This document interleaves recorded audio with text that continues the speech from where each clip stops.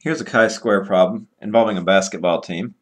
Uh, they've analyzed their shot taking from the starters, and here we have the percents that each of the starters shoots. And then in a recent game, here's how many shots they actually took. So we want to see, were they consistent with what they usually do? we're going to use the chi-square test for that. So, slide this down.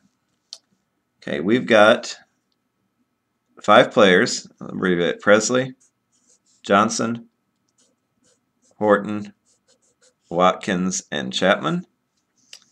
In the first column, we're going to put the observed. And that's these numbers, how many shots we actually observed them taking. 12, 14, 8, 15, and 21. Now, the next column is the expected column. Okay.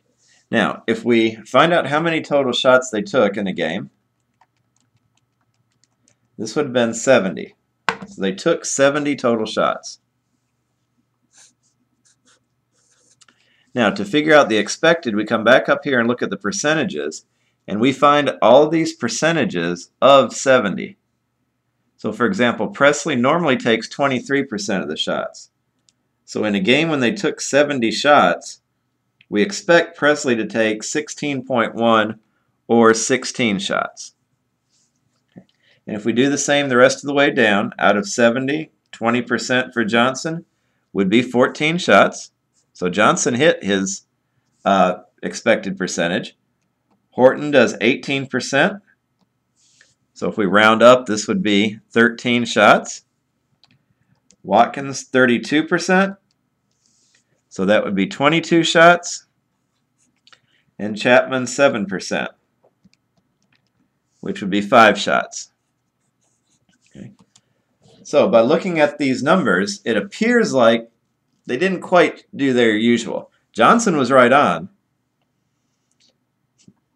Presley and Horton were pretty close, but Watkins and Chapman were way off. But let's continue the problem and let's just make sure. The next column, we're going to subtract these two. So we have negative 4, 0, negative 5, negative 7, 16. And we're going to square these numbers. 16, 0, 25, 49, 256. Okay. We're going to make one more column. We're going to take these numbers and divide by the expected.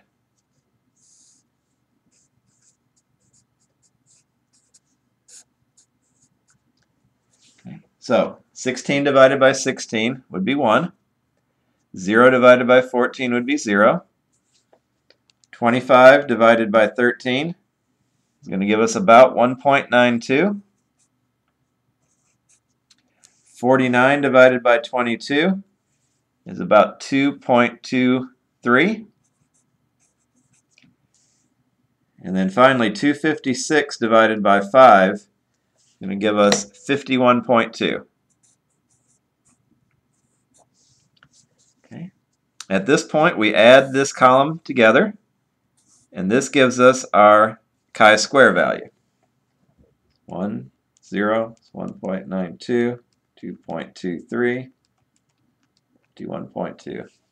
Okay, this gives us a chi-square value of 56.35.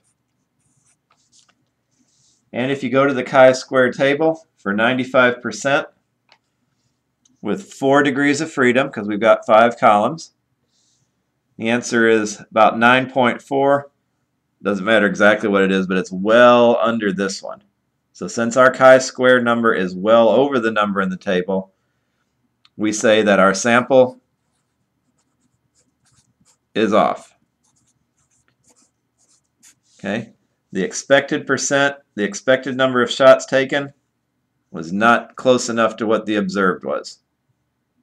So that backwards. The observed shots that we saw was not close to what we had expected. So this was not a normal shooting night for this team.